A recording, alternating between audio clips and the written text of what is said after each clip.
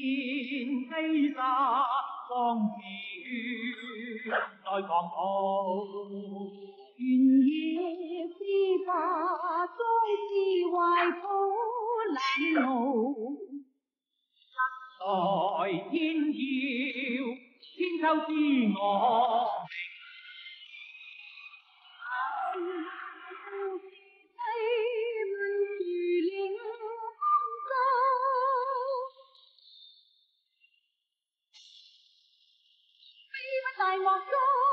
畏惧冷酷时道，一问千里，中后途，柔情藏心窝。记干透，大地流着我的喜好。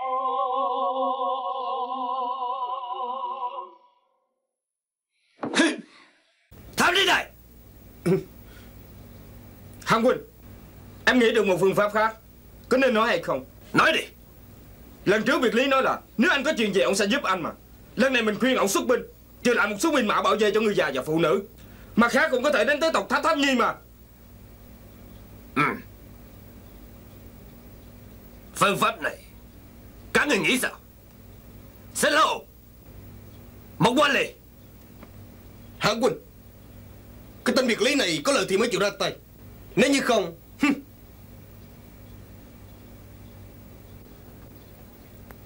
Thiên Mộc Trần Ý của hãng phụ ta là không muốn đánh thấp thấp nhi và nước kiềm Hạng phụ Nghe nói Tộc Tháp Tháp Nhì có hai bảo vật. Một món là cầu Tân Châu Còn một món là tháp thủng vàng. Nếu hai món bảo vật này lọt vào trong tay của người Kiệt Cha không thấy tiếc sao? Lần này người Kim tấn công tộc thấp thấp nhi Tộc thấp thấp nhi nên gặp quả báo này. Nếu năm xưa hắn không cấu kết với người Kim Thì đâu có lâm cảnh như ngày hôm nay. Ừ Tộc thấp thấp nhi cường mạnh như vậy. Bộ muốn đánh là thắng sao? Ê Đan Cột Về mặt này chắc lại không lo lắng Bây giờ họ đã bị lính kiềm đã đến nỗi phải rút quân. Vậy đã chứng tỏ họ không còn đủ sức chống lại nữa. Bây giờ chúng ta ra quân đánh họ Là lúc thích hợp nhất đó. Hạng phụ Cha thiệt là anh mình. Thôi được thiếu một giờ Vậy chúng ta quyết định như vậy đi. Quyết định ba ngày sau Quân đội của ta sẽ hội hợp với quân đội của người. Trả thù cho hãng phục của người Và giả tóc cài ăn đất của ta. Tốt.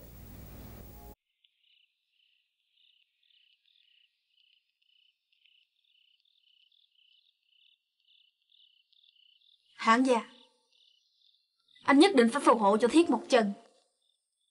Chỉ có nó Mới có thể đem đầu người của Mạch Cổ Trần Kẻ thù anh Đem về đây Để tới Hồng Thiên cho anh.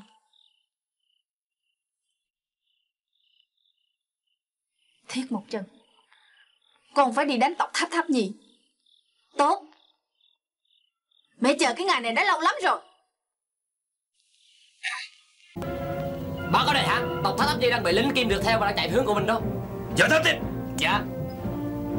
Đại hạ Đây là dịp mà cho mình tấn công. Ừ. Thiếu một giờ. Ta sẽ tấn công từ đằng sau. Tốt Vậy thì con sẽ chặn họ ở đằng trước Chúng ta sẽ tấn công trước và sau. Tốt. Đan Cột Vậy chúng ta đi chuẩn bị đi. Cái con cáo già này Có ai mà không biết đằng sau của quân đội là tài sản và lương thực chứ? Hàm sát gì? Kẻ muốn trả thù Là mình thôi. Mình đánh tiên phòng Là dĩ nhiên mà. Các gì ăn đập Các gì cùng với ta? Bắt sống mạch cố trực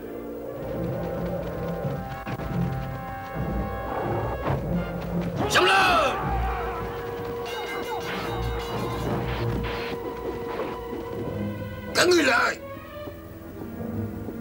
Ta là con trưởng của đại hàng giả tóc cải Thiết Mộc Trần. Ồ Thì ra ngươi là tộc hắc nha Phê Mạch cứu chưa Bữa này ngươi hết đường thoát rồi. Ngươi còn dám phản lối hay sao à Các ngươi làm vậy là cái gì?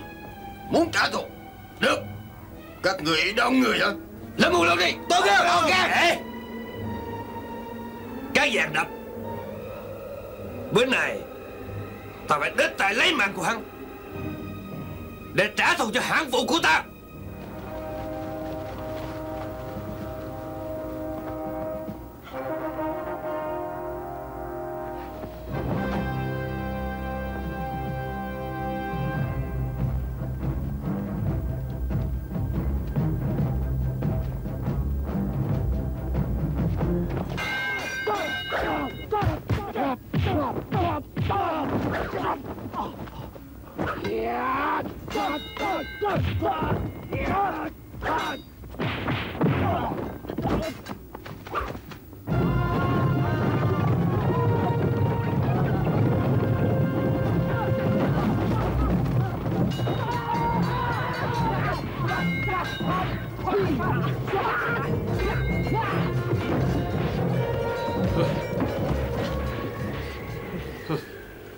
Tộc thấp thấp nhỉ? Quả nhiên là giàu có vậy. Tất nhiên rồi. Nếu không phải vậy Tại sao hãng phụ cứ đòi đánh hậu phường Mà không đánh tiên phong chứ?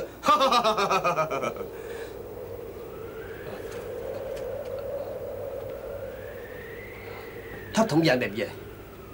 Hảo, hảo phụ Tặng cho con nha. Nếu như con thích thì hãng phụ tặng cho con đó.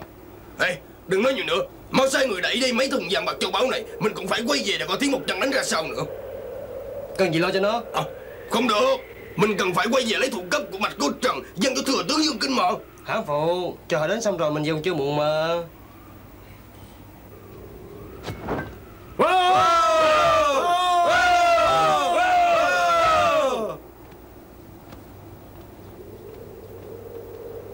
Hãng quân Anh phải chặt đầu của hắn xuống Để tế hồn thiên của hãng phụ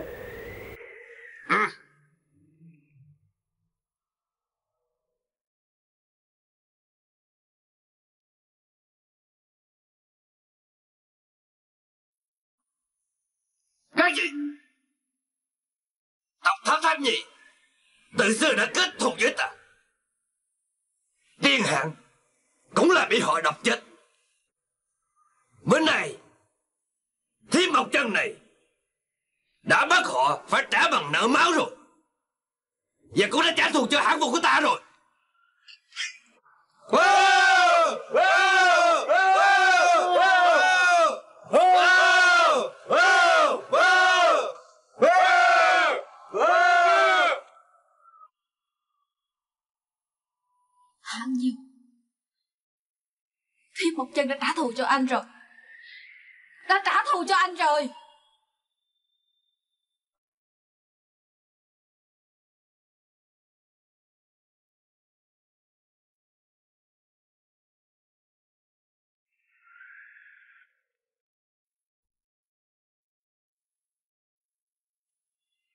Tham kiến thừa tướng Dương Kinh.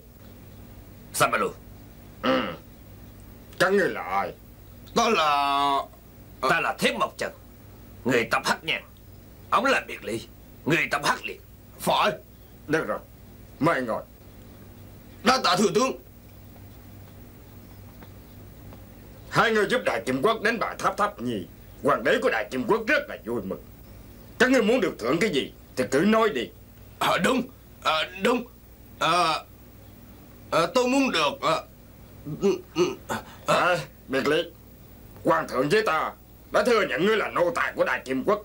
Nô tài muốn xin thưởng Chủ nhân cho hay không cũng là ơn điển thôi. Ngươi không cần sợ. Nói đi Nếu như ngươi không nói ra Hay là để ta nói trước Ngươi có đồng ý hay không? Dạ. Được. Thì bây giờ để thừa tướng của Đại Kim Quốc này Đại diện cho hoàng đế của Đại Kim Quốc Phong cho người xưng dương. Nhưng bản thân người đã là hắc hạng Cho nên từ nay ngươi xưng là dương hạng Cảm ơn Đại Kim Quốc bệ hạ Cảm ơn thừa tướng Dương Kinh. Ừ. Thế một chân Vì ngươi tuổi còn nhỏ Danh vọng chưa đủ Bây giờ ta phong cho ngươi làm quan chu thổ Thế hoàng đế đại kim quốc trấn thủ bắc phương Ngang hàng với quan năm phẩm. Đấy là phần thưởng phi thường rồi đó. Ê Thế một chân Cảm ơn. Được có về chiến lợi phẩm mà hai người lấy được lần này, Thì để hai người chia đều đi Cảm ơn thừa tướng Dương Cực.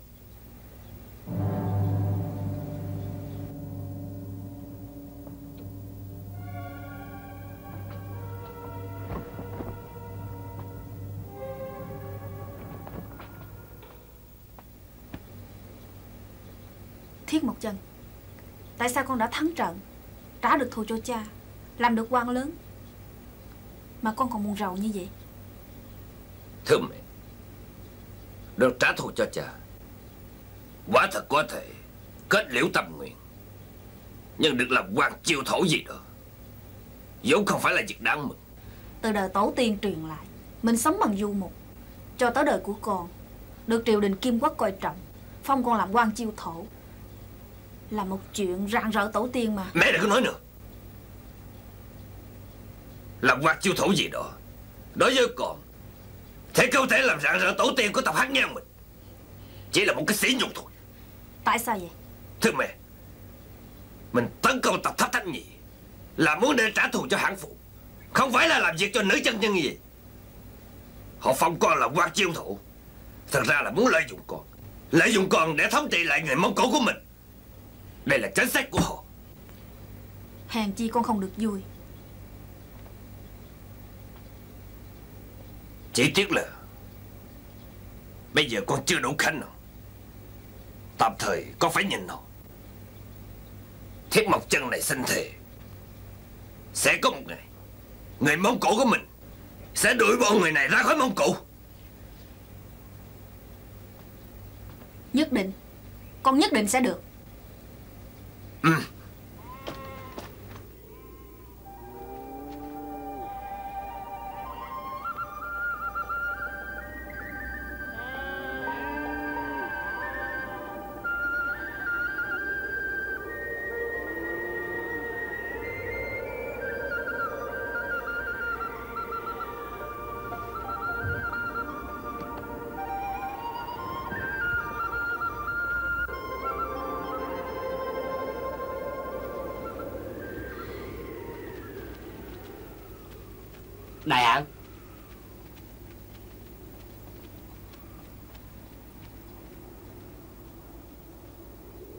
Chẳng có Hán phụ. Hán phụ. Chẳng có Chuyện gì mà hình như không được vui vậy. Con cái của Thiết Mộc Chân đại hạn Không nên như vậy. Con không được vui mà. Có chuyện gì mà không được vui hả? Tại chế hợp đài và tha lôi đó. Con biết họ dạy con chơi cung thất thạch Nhưng họ nói là con suốt đời sẽ kéo không nổi đó. Ừ. Để ừ. Con cờ thiệt Hán phụ Cả cha cũng cười con nữa sao? À, Thôi được thôi được. Hãng phụ không cười con nữa. Vậy họ có nói với con là Tại sao con không thể kéo cung thất thạch không? Ừ. Họ nói là Con là con gái. Trước sau hãng phụ cũng gả con đi ra ngoài thôi. Đúng rồi. Con gái Sớm muộn gì cũng phải gả thôi. Con không phải là con gái sao à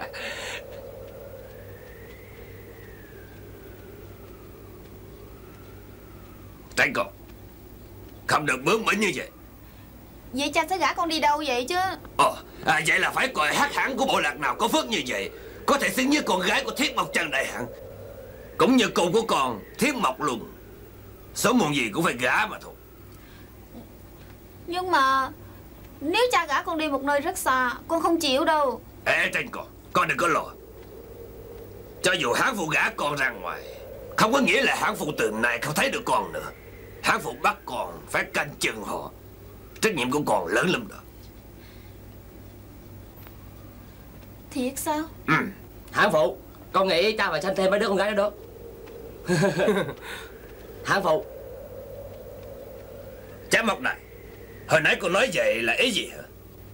Ý của nhị ca Là có lẽ không ai thích em tranh. À, Anh nói bậy em nói thật đó. Đừng có chạy nha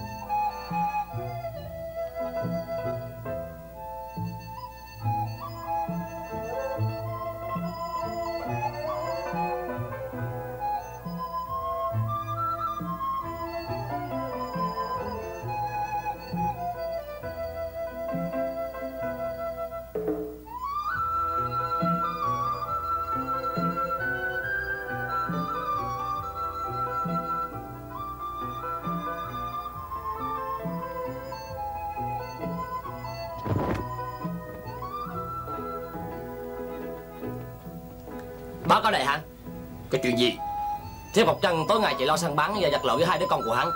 Qua những ngày yên vui và sinh hoạt gia đình. Nhị nói là sự thật sao Tuyệt đối là thật. Hạng huynh Nay Thiết Mộc Chân đã không đề phòng. Đã đến lúc thích hợp cho mình trả thù cho nhị sách rồi. Đại hãn Tôi chưa hề thấy Thiết Mộc Trân và các chiến sĩ của hắn thao luyện. Tốt. Tam sách Dạ. Đưa ra ra ngoài lãnh thưởng đi. Ừ. Dạ. Cảm ơn đại hãn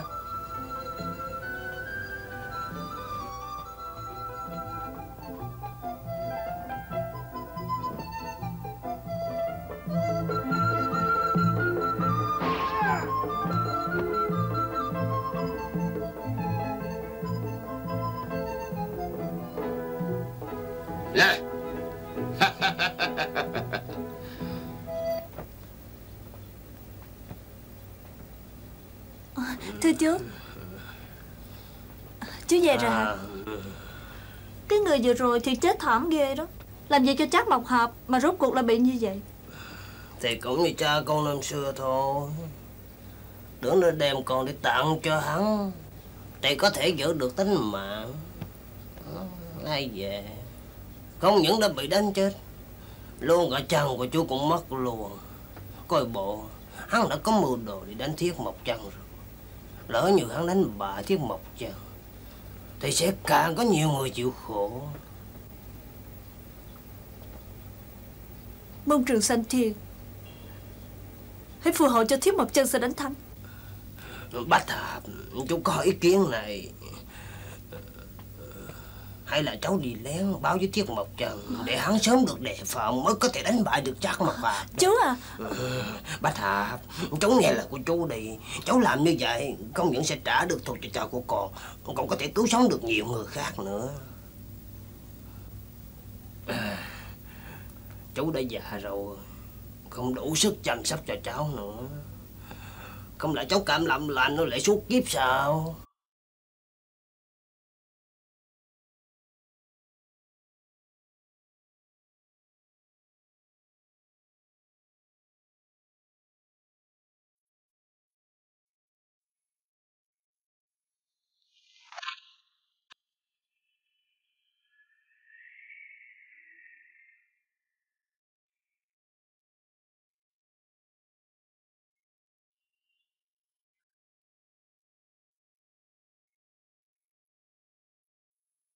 Nói cho ta biết Bạch Hợp đã chạy đi đâu? Tôi, tôi, tôi, tôi không biết được. Con đầu sáng sớm thức dậy Nó đã mất tiêu rồi. Tao hỏi ngươi thêm một lần nữa. Nó chạy đi đâu? Tôi thì không biết mà đại hạ. Được. Nếu như ngươi không muốn nói Thì cũng không hỏi thêm nữa. Tạm sách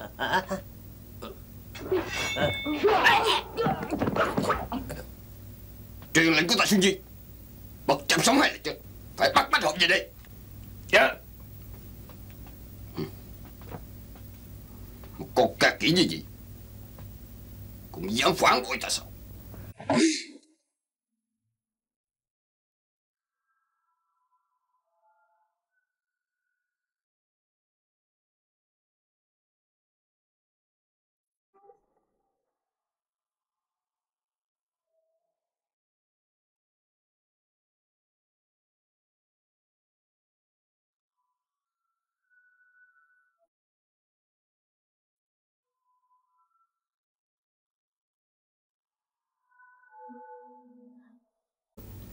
Hắc thần.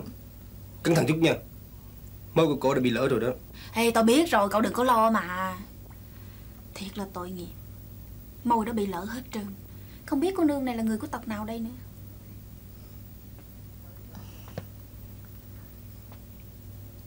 Hạp sát nhi à? Vì cô nương này chú bắt được ở đâu vậy hả? Em không phải bắt cổ về. Em cứu cổ về thôi Em đi săn đi ngang qua chân núi Thấy cổ bị ngất xỉu. Nên đã cứu cổ về đây. Cổ, cổ tỉnh rồi nè. Chỗ này là chỗ nào? Đây là danh trại của Thiết Mộc Chân Hắc Hạng. Chúng tôi cứu cô đó. Thiết Mộc Chân. Ờ, Các người dẫn tôi đi gặp Thiết Mộc Chân đi. Tôi có chuyện quan trọng phải nói với ông. Quan trọng tới tính mạng đó. Cái gì? Cô nói chắc Mộc Hạp sẽ tấn công chúng tôi Phải rồi Tôi chính ta nghe được mà. Đại hãn Ông phải cẩn thận nha. Cô nương Lời nói của cô nương thiệt hay là giả. Cô là ai? Tên là Bách Hạp Vốn là người của tộc Hắc Liệt. Tộc Hắc Liệt? Vậy là người của Dương Hãn mà. Phải rồi. Có một lần Chắc một hạp tới thăm Dương Hãn. Gặp được tôi Đã lấy tôi qua bệnh Từ đó Tôi đã làm ca kỹ cho hắn.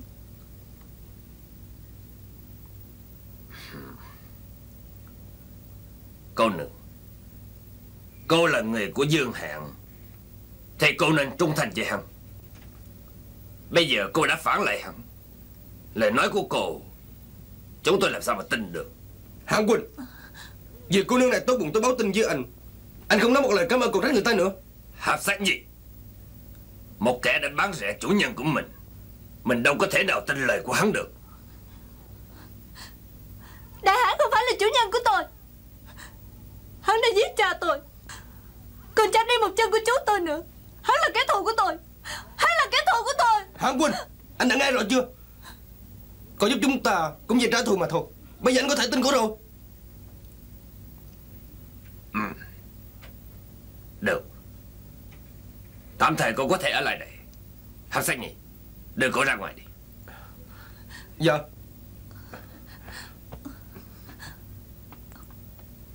Cảm ơn đại hãn ừ.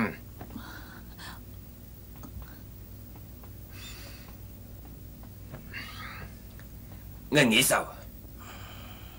Để cho an toàn. Ta nghĩ là không nên tin hết lời cô. Nhưng mà Cô cũng chưa chắc là giàn ti ừ. Ta cũng nghĩ như vậy. Trận chiến 13 bộ lạc lần trước Là mối sỉ dục lớn của Trác Mộc Hạp Hắn muốn trả thù Không phải là chuyện lạ đâu. Vậy đại hạn sẽ đối xử sao với cô gái này? Ngày mai trở đi Cho người đưa cổ ra ngoài đồng Làm thêm nhiều việc cực nhọc. Để cổ không có cơ hội Dò thám thực lực của mình. Mặt khác Mình phải tích trữ lương thực. Mình phải gia tăng quân đội Đề phòng Trác Mộc Hạp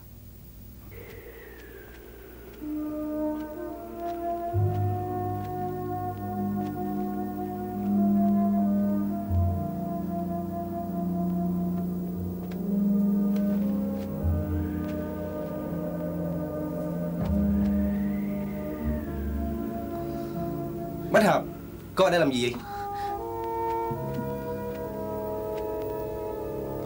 Chuyện gì vậy? Cô khóc hả? Dạ đâu phải. Đâu phải. Ta phải đi hỏi Hạ Quân của ta cho rõ ràng. Cô đã giúp anh sao anh đối xử với cô như vậy. Xin đừng. Hát hạng đối với em như vậy Em đã mãn nguyện lắm rồi. Vậy sao cô khóc? Em khóc không phải vì em cực khổ.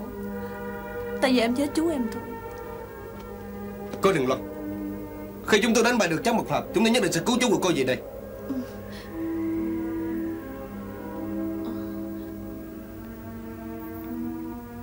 Thôi được, Tôi phải đi. Có thịt khô này, tôi đem tới cho cô đó.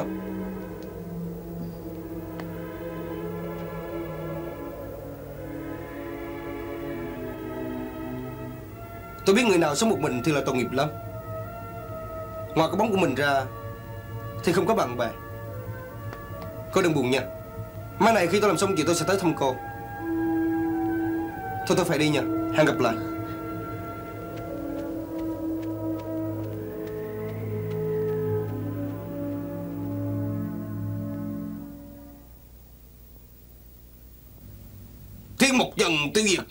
Của ta.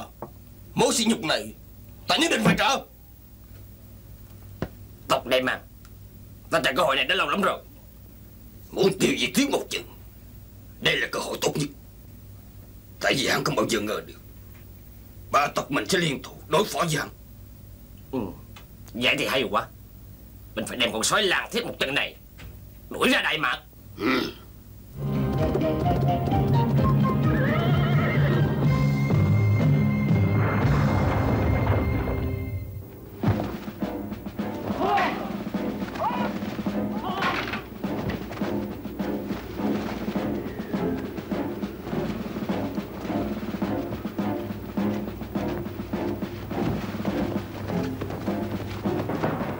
Sĩ khí sao à? Có một số người rất phấn khởi. Số người không tin đánh giặc Đại hả? Ta nghĩ là họ đã sống những ngày yên vui quá lâu rồi. Hạng Quỳnh Em có chuyện muốn nói với anh. Em lại muốn nói với anh Về chuyện của Bách Học? Phải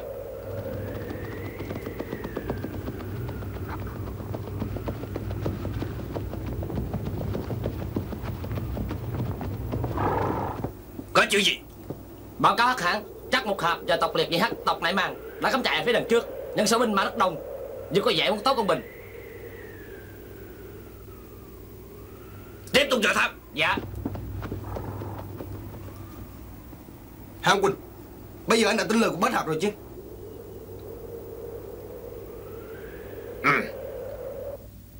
Bách Học cô nương Lúc xưa tôi thật sự đã nghi ngờ cô Mong cô hãy bỏ qua cho. Nếu như lời nói của người nào nói ra Đại hãng cũng tin theo. Vậy thì đại hãng đâu phải là anh Minh như ai nấy đều nói chứ. Cô thiệt là khéo ăn nói Tôi chỉ nói theo sự thật thôi mà. Bây giờ cô đã là ân nhân của tộc Hắc Nhàn chúng tôi. Cô muốn được thưởng thế gì? Cứ nói đi. Tôi không cần. Tôi không cần gì hết. Sao cô lại không cần gì hết? Lúc trước Hạng Quỳnh của tôi Bắt cô đi chăn cừu Dắt sữa ngựa Làm gì cực nhọc như vậy? Cô đang được bồi thường mới đúng chứ? Nhưng mà Em làm việc là chuyện dĩ nhiên mà. Hơn nữa Em thì không cần gì hết mà. Ê sao lại không có? Cô suy nghĩ kỹ đi. Em à, Em thì thấy không có. Nếu như cô chưa nghĩ ra Thì tạm thời gác lại đã. Đại hả? Ta nghĩ ngươi nên nghĩ ra Tặng cái gì cho Bách Hạp cô nương đi Hạng Quỳnh là gì vậy? Là em. Hát sách nhỉ Anh bắt em suốt đời suốt kiếp Chăm sóc cho bách hợp đàng hoàng. Bách hợp. Ta sẽ gả cô Cho hãng đệ của ta. Cô có chịu không? Bách Hạp Bách Hạp xin suốt đời nghe theo lời của đại hãng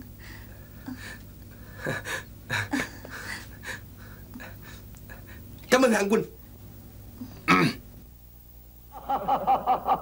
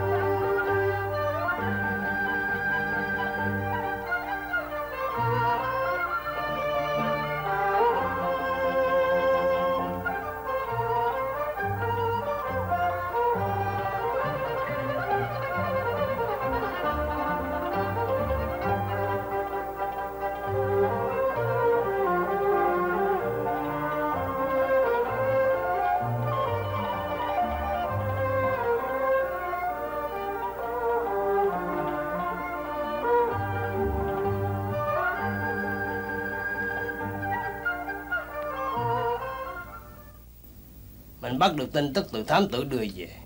Bên chắc một hạp Tổng cộng có 5 vạn binh sĩ. Vậy thì mình thua chắc sao Chú Á Lạc Chú nên biết là Ra trận cần nhất là sĩ khí. Bây giờ chưa ra trận Chú đã thấy thua rồi. Chú đâu xứng làm dũng sĩ của tộc Hắc Nhàn Thá Thá Thùng. Ta muốn hỏi ý kiến của người. Với thực lực bây giờ của mình Quả thật không thể chọi thẳng với chắc một hạp đâu. Nhưng mà Nếu như ta không đoán lầm Nghĩa phụ dương hãn của người lần này nhất định sẽ vui lòng giúp người mà. Tại sao? Tại vì lỡ chắc một hạp đánh thân Với nghĩa phụ của người là một uy hiếp. Hắn vì bản thân nhất định sẽ giúp ngươi lần này.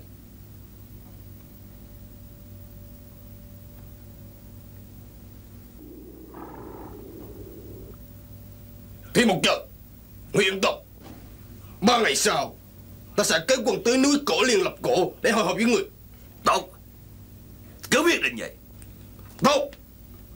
Vậy chúng tôi về trước nha. Ừ.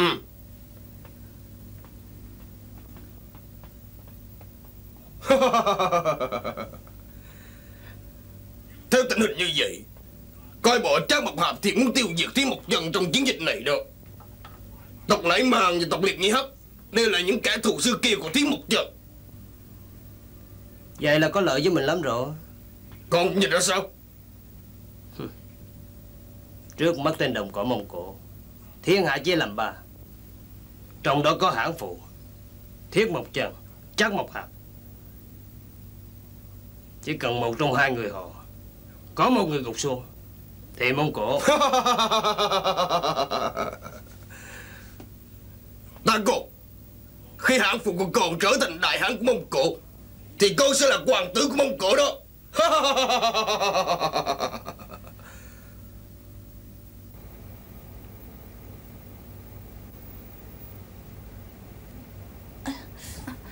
Chị không sao chứ? Ờ, Không sao. Làm tiếp đi. Hãng phụ Hãng phụ à. Hãng phụ Con phải đi đánh giặc với cha. Ê Kha Phát này Tuổi của con còn nhỏ lắm. Để lần sau đi Vậy sao đại ca đi được? Ảnh đâu có lớn hơn con bao nhiêu chứ. Cha đã quyết định như vậy rồi Con không cần nói nhiều nữa. Kha phát đại Nghe lời của hãng phụ đi con Mẹ ờ, con đã lớn lắm rồi mà Sao con cho con đi chứ? Có chiến sĩ Mông Cổ nào không lớn lên ở xa trường chứ? Con muốn Cấm miệng Ra ngoài đi. Mẹ. Ra ngoài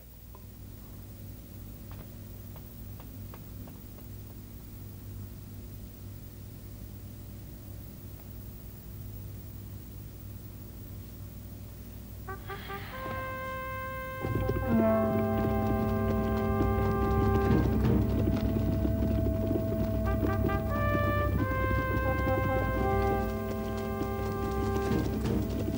quanh chỗ này thì khó mà phòng thủ. Lỡ như bị đối phương dày chặt, Thì khó mà đột dòng về. Hay là vậy giờ Thiên một Trần Các người đi đối phó trang một học Chúng tôi sẽ đi cầm chân tộc Liệt nhị Hấp Tộc Thái Dịch Xích. Và tộc Thông Thập Nhị Để giảm bớt binh lực của họ. Được. Vậy thì làm theo ý của hãng phụ đi. Đây hả? Ngày mai là ngày đầu tiên mình đụng trận. Ta nghĩ mình không nên đưa hết lực lượng của mình ra. Ta cũng nghĩ như vậy. Hả sáng nhỉ? Ngày mai em dẫn các con tên thủ Yểm trợ hai ông chú. Thưa hai chú. Ngày mai nhờ nơi hai chú được. Bảo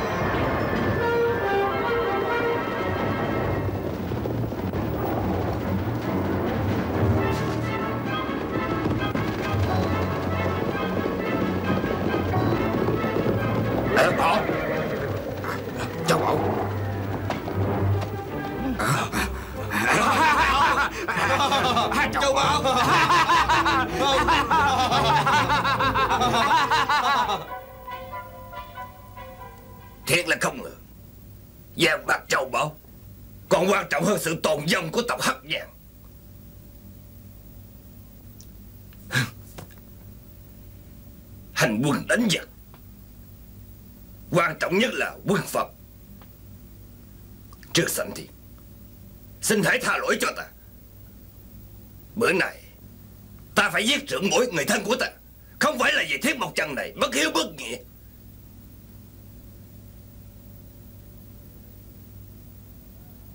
Lôi hai người này ra ngoài chém đi. Dạ.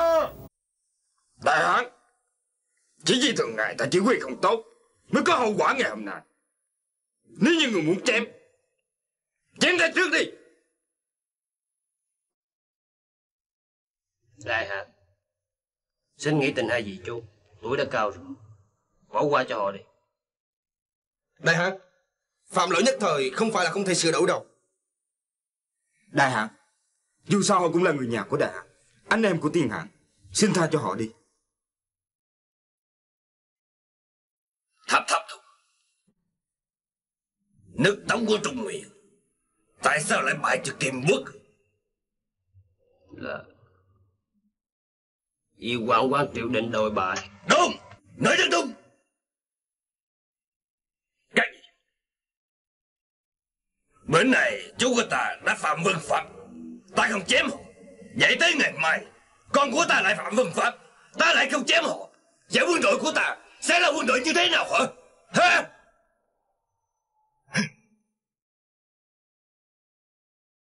Các người đã hiểu chưa? Lôi hai người này ra ngoài đi. Dạ.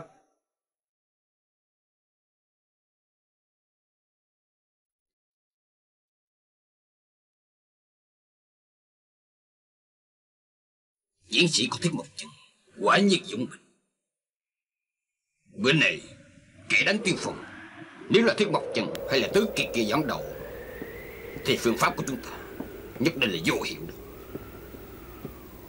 Tạp dịch Binh mã của chúng ta là sao? Chết một ngàn người Bị thương ba ngàn người. Ngày mai Thiết Mộc Chân tấn công Nhất định sẽ càng lợi hại hơn. Tam sách Dạ. Dặn hai vị tộc trưởng phải đề phòng cẩn thận. Dạ. Nhưng mà ngươi có thể yên tâm. Ngày mai Ta sẽ có cách đối phó Thiết Mộc Chân Trải qua nhiều trận chiến, Mình bị thương vong rất nặng. Nhưng mà dũng sĩ của tộc Hắc Nha mình Không dễ gì chịu thua đâu. Cách đây rất lâu, Có một hắc hạng Tên là Bố Cổ đạp Đã đánh giặc nhiều năm rồi. Binh sĩ của ông Nói với ông là Lần này mình chắc chắn sẽ thua, Tại vì tên của chúng ta không được tốt. Không phải là tên thần gì. Vì vậy, Bố Cổ đạp đã đất tài giết chết bảy đứa con của mình. Lấy tim của họ, làm ra bảy cây tên. Bảy cây tên này, vì làm bằng lòng thành. Cho nên, quy lực của nó có thể làm ngã bảy cái núi, chia ra bảy cái biển. Ông đã dùng bảy cái tên này, đánh bại được kẻ địch của ông. Mã dương 12 đồng an đáp của ta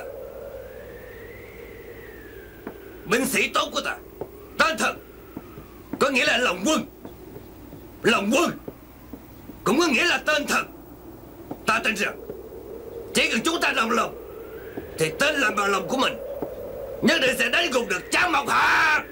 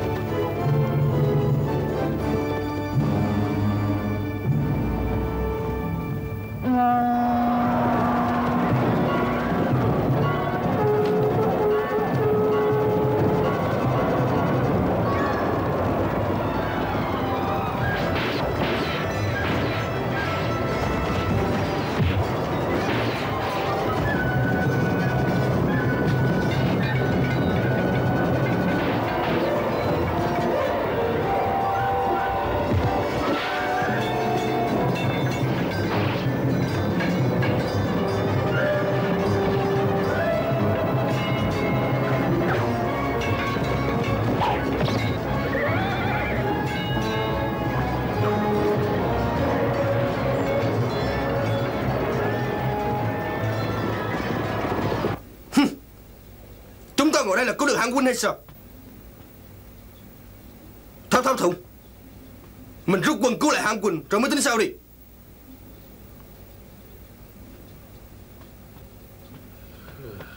Bây giờ ngươi ra ngoài tuyên bố với các quân sĩ trong quân đội.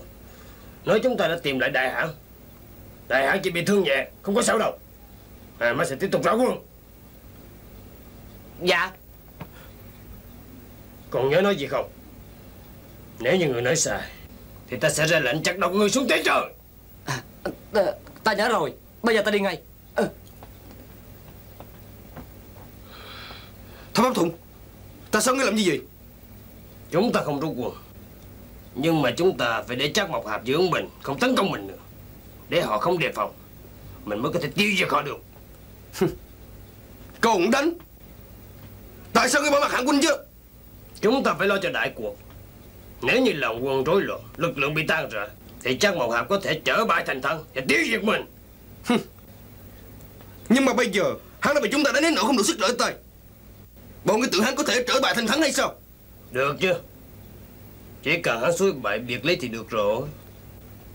Biệt lý Bây giờ hắn đang giúp hạng huynh mình mà.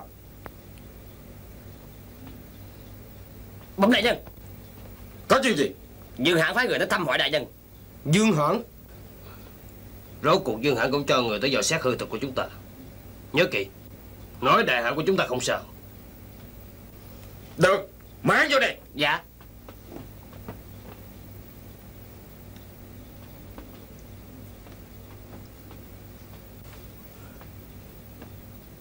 Đại hãn chúng tôi Nghe tình Thiên Mộc Trần đại hãn bị thương Cho nên Đã phái tiểu nhân tới hỏi thầm Làm ơn dẫn tôi đi gặp hãn già Để tôi có thể đích thân chuyển lời hỏi thầm Của đại hãn chúng tôi cho hãn già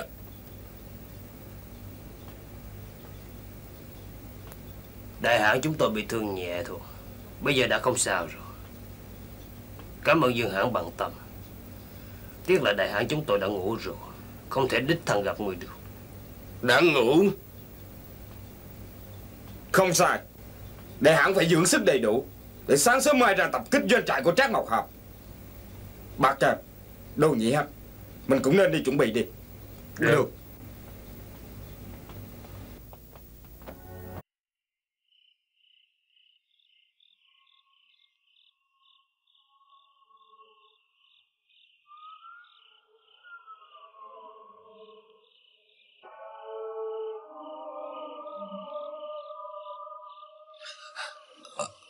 Đại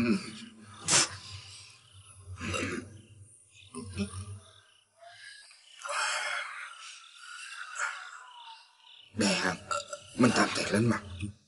Sang sớm mời mình sẽ chạy? Dọc theo đồi núi. Nhất định sẽ không sao đâu